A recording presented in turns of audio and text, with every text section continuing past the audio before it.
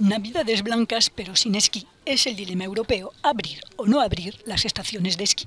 La mayoría de los países europeos han optado por el cierre de las instalaciones, aunque nadie impide pasear por la montaña desierta.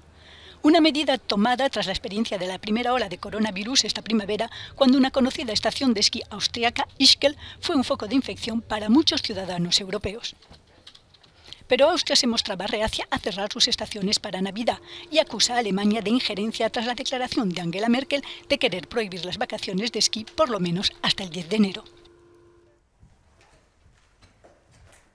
Trataremos de conseguir que se apruebe a escala de la Unión Europea el cierre del esquí, afirmó la canciller alemana, tras conocerse que en otros países como Francia e Italia implementaban dicha medida.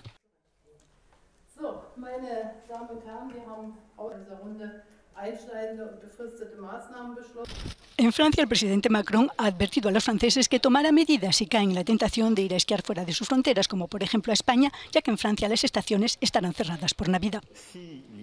Si hay países de la Unión Europea y fuera de la Unión Europea que mantienen sus estaciones de esquí abiertas, tomaremos medidas de control para disuadir a nuestros conciudadanos de ir a zonas donde consideramos que hay riesgos de infección.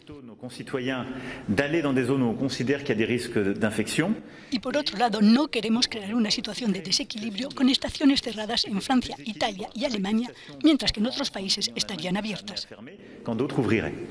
Una opinión que comparte el primer ministro belga Alexander De Croo.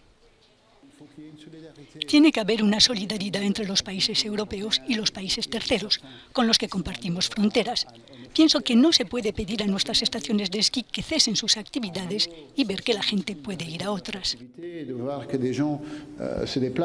Otras estaciones que pueden estar en Suiza o en España, donde Baqueira Beret abre el 11 de diciembre y Sierra Nevada está a la espera. Eso sí, respetando las medidas de seguridad como mascarilla obligatoria, distancia social y desinfección de los remontes, para no generar otro Ischel.